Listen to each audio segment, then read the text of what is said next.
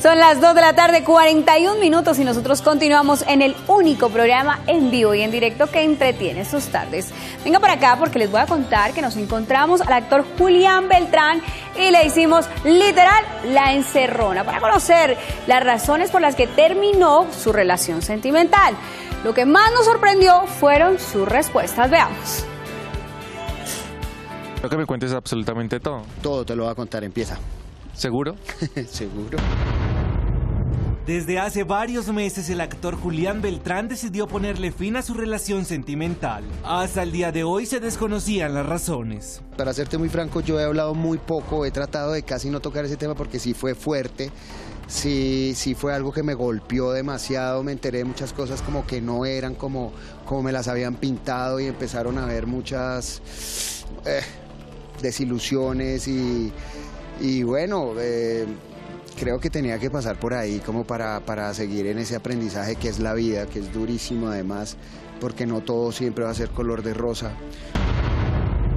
Uno también no es perfecto, ni es monedita de oro para caerle bien a todo el mundo, ni los actos que uno hace también son del agrado de cada quien.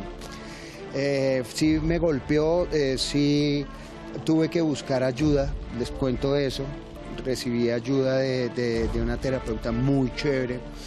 Y, me ¿Así ¿Ah, te dejaron? Me ayudó a comprender muchas cosas. Sí, yo, yo realmente venía como, como no teniendo éxito con, con, con las relaciones desde mi divorcio hace ocho años. Y, y, había que entender un porqué para que no siguiera el círculo repitiéndose y como que, bueno, ustedes saben cómo, cómo es ese tema pero, pero gracias a Dios apareció esta persona en mi vida, sí me ayudó demasiado a entender, a comprender. Eh, hay mucho narcisista por ahí que está buscando oportunidad, que está buscando como que tiene otras intenciones mejor. ¿Ella era narcisista? Ya, y ya. Esta obra es muy bonita para que vengan y la vean. ¿Ella era narcisista? Dijiste, ya la última vez que lo toco, pues toquémoslo como es, ¿de qué te enteraste? Se fue para otro lado. No, yo quiero hablar de la obra. ¿De qué te enteraste? Ya no más. No, ya está clarísimo ahí. ¿Le fueron infiel? Eh, nunca lo van a aceptar, pero uno después termina atando cabos y había muchas cosas que no eran como las decían que eran. Como decían que eran, no eran. Lo bueno es que no eres el único. Sí, no, está bien y uno tiene que pasar por esos procesos para comprender muchas cosas y, que, y que sirva para, para cuando uno vuelva a, entablar una relación, no culpar al amor, porque el amor no tiene la culpa de nada y es que saber eh, eh, escoger, pero lo que sucede es que es muy berraco uno pedirle el pasado judicial a la gente, hermano. Pero bueno, hay que estrellarse a veces para aprender y, y, ahorita estamos muy tranquilos, estoy haciendo lo que me apasiona. ¿Estás con alguien? Yo no, estoy solo. Estoy solo hace un tiempo ya. ¿Tú nunca estás solo? Estoy solo. ¿Sentiste que ya tú usó? Eh, de cierta manera sí, ¿Por dinero o por fama? Ya. ¿Quería fama o dinero? o las dos. ya no llegué a preguntarle. O las dos. Uy, hasta ya no llegué a preguntarle. A lo mejor las dos. Mucha atención. ¿Sabe de qué nos enteramos? ¿De qué? Que una de nuestras ex compañeras, Elianis Garrido, estaba en un reconocido canal de televisión. ¿ah? Es de las tres letras. Sí, de aquí salen vaya, yo no sé qué es eso. ¿Qué, pasó? ¿Qué estaba haciendo la Garrido por allá en las tres letras? ¿Usted quiere saber qué estaba haciendo la Garrido? Oh, quiero saber. Pues precisamente por eso la buscamos, le preguntamos de frente y a la yugular porque usted sabe que José sí que sabe hacer eso. Le dijimos, Eli, ¿volverás a la televisión? Y esto nos contestó. A nuestra sala de redacción llegó la noticia de que Lianis había sido vista en un nuevo canal de televisión. ¿Será que regresa pronto a la pantalla? Hombre, ¿cómo va a ser? ¿Pero qué es esto, vale? Te vieron eh, por allí en un canal de televisión muy importante de nuestro país. Ajá. ¿En qué andas? Fui a tomarme un café. un café con el director o presidente del canal para un nuevo proyecto.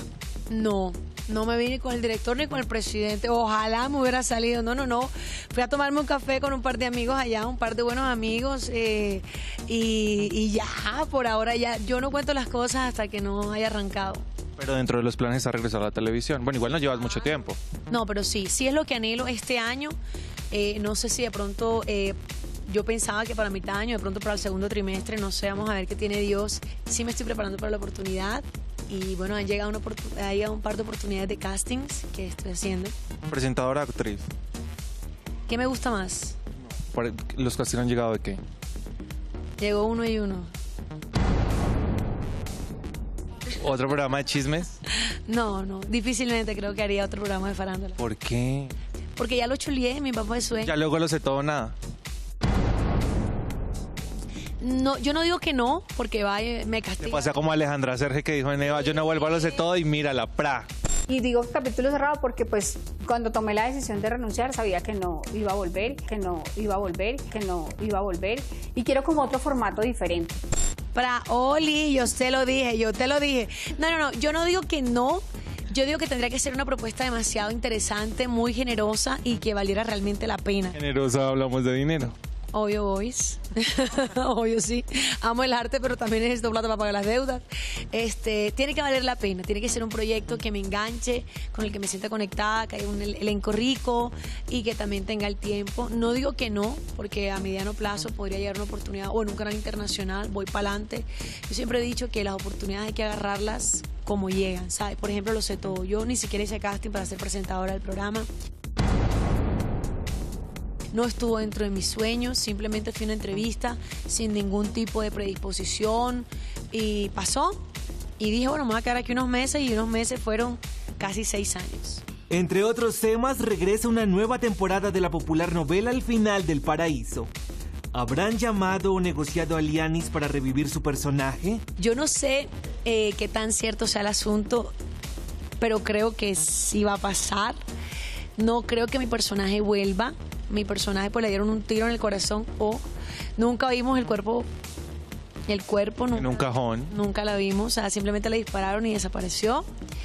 Eh, Dios mío, y si ellos revivieron, por ejemplo, al Señor de los Celos después de que estuvo enterrado, cualquier cosa puede pasar. A mí no me han llamado, no han negociado, no se han sentado conmigo. Si me llegan a llamar, estoy abierta.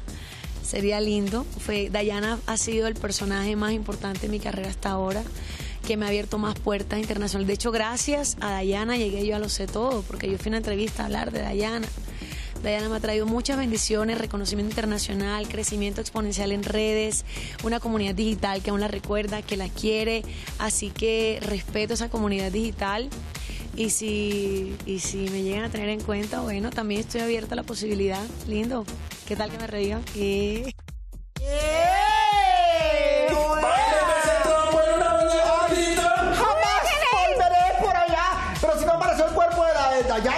Yanara, como se llame ella, aquí está la Sergio también al lado de nosotros. Pues No, es que la no Garrido- cuerpo y está aquí con nosotros, mire. La Garrido lo dijo ver. claramente, si hay una propuesta generosa e interesante, porque a mí también me hicieron una propuesta generosa e interesante. Ahora, Ah, por eso claramente digo, uno nunca debe decir de esa agua no beberé porque claramente te la puedes volver a jamás. beber. Continuando con nuestra información, les vamos a contar que en esta segunda parte, Elianis Garrido nos cuenta, pues nuestra pechichona, que está actuando en teatros y señores, y nos habla precisamente sobre su personaje y revela un fuerte episodio de su vida que siempre la va a recordar a través de esta obra. Veamos.